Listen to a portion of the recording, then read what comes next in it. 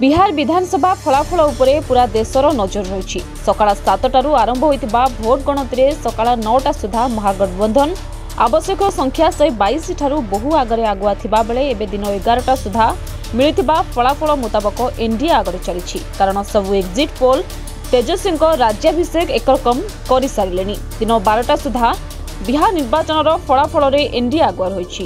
NDA ଶହେ ତେତିଶ ଆସନରେ ଆଗୁଆ ଥିବାବେଳେ ମହାଗଠବନ୍ଧନ ଛୟାନବେ ଆସନରେ ଆଗୁଆ ରହିଛି।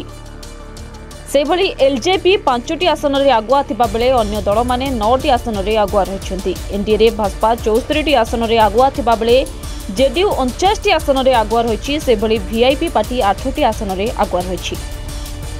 ମହାଗଠବନ୍ଧନରେ ଆର୍ଜେଡି ଅଣଷଠିଟି ଆସନରେ ଆଗୁଆ ରହିଥିବା ବେଳେ କଂଗ୍ରେସ ଏକୋଇଶ ଓ ବାମ ଦଳ ଉଣେଇଶ ଆସନରେ ଆଗୁଆ ଚାଲିଛି। ମହାଗଠବନ୍ଧନର ମୁଖ୍ୟମନ୍ତ୍ରୀ ଦାବିଦାର ତେଜସ୍ୱୀ ଯାଦବ ନିଜ ଆସନରେ ଆଗୁଆ ରହିଛନ୍ତି ଓ ତାଙ୍କ ଭାଇ ତେଜ ପ୍ରତାପ ଯାଦବ କିନ୍ତୁ ହାସିନାପୁର ଆସନରୁ ପଛରେ ପଡ଼ିଛନ୍ତି। ସୂଚନାଯୋଗ୍ୟ ଯେ ତେଜସ୍ୱୀଙ୍କ ଜନ୍ମଦିନରେ ଟ୍ୱିଟ୍ କରି ସେ ସାନ ଭାଇଙ୍କୁ ମୁଖ୍ୟମନ୍ତ୍ରୀ ପଦବୀ ଉପହାର ଭାବେ ଦେଉଛନ୍ତି ବୋଲି କହିଥିଲେ।